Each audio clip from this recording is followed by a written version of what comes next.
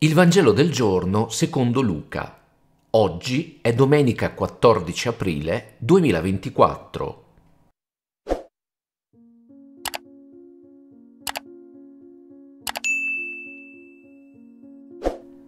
Dal Vangelo secondo Luca, capitolo 24, dal versetto 35 al versetto 48. In quel tempo, di ritorno da Emmaus, i due discepoli riferirono ciò che era accaduto lungo la via e come avevano riconosciuto Gesù nell'atto di spezzare il pane. Mentre essi parlavano di queste cose, Gesù in persona apparve in mezzo a loro e disse, Pace a voi. Stupiti e spaventati, credevano di vedere un fantasma. Ma egli disse, perché siete turbati e perché sorgono dubbi nel vostro cuore? Guardate le mie mani e i miei piedi. Sono proprio io. Toccatemi e guardate. Un fantasma non ha carne e ossa, come vedete che io ho. Dicendo questo, mostrò loro le mani e i piedi, ma poiché per la grande gioia ancora erano increduli, disse loro, Avete qui qualche cosa da mangiare? Gli offrirono una porzione di pesce arrostito. Egli lo prese e lo mangiò davanti a loro.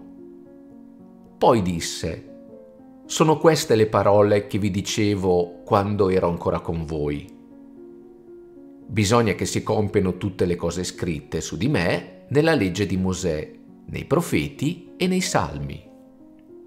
Allora aprì loro la mente all'intelligenza e alla saggezza delle scritture e disse, Così sta scritto, il Cristo dovrà patire e risuscitare dai morti il terzo giorno, e nel suo nome saranno predicati a tutte le genti la conversione e il perdono dei peccati, cominciando da Gerusalemme.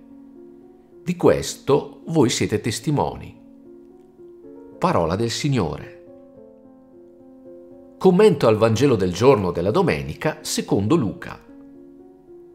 Se ancora non l'hai fatto, metti mi piace a questo video, iscriviti al canale di Fratelli e Sorelle Preghiamo e lascia un commento sotto questo video. Oggi ci immergiamo nel racconto di un momento straordinario e carico di significato, il ritorno da Emmaus e l'apparizione di Gesù ai suoi discepoli.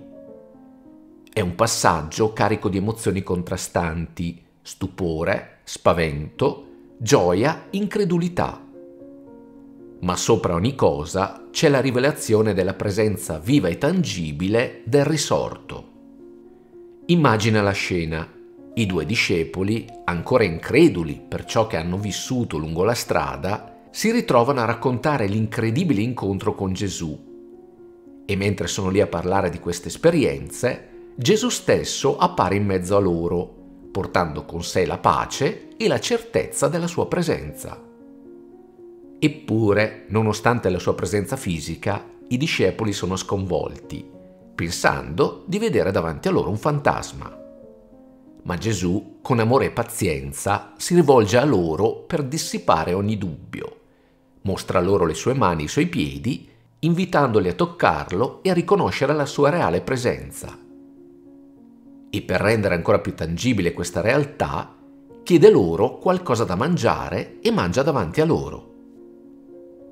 Questo passo del Vangelo di oggi, secondo Luca, non è solo un racconto di un evento storico, ma è anche un invito a riflettere sul significato più profondo della risurrezione di Gesù.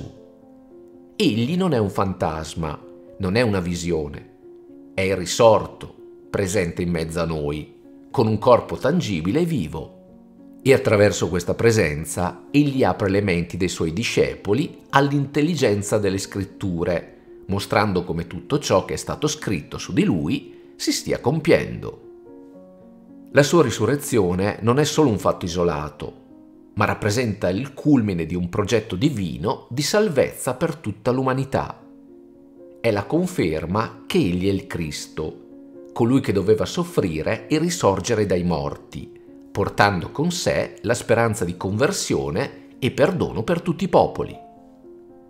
Noi stessi siamo chiamati a essere testimoni di questa realtà straordinaria come discepoli possiamo incontrare il risorto nelle nostre vite quotidiane, nelle scritture, nell'Eucarestia e nei volti dei nostri fratelli e sorelle.